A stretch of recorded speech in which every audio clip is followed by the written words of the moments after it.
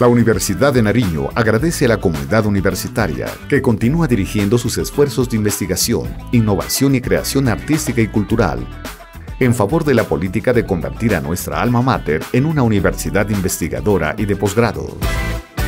Hemos recibido seis registros calificados para programas nuevos de maestría, tres registros calificados para programas nuevos de especializaciones y dos registros para programas de pregrado, estos últimos para ser ofrecidos en Tumaco.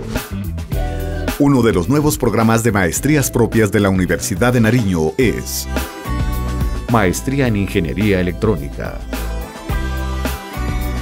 Plan 2018-2020. Dimensión académica.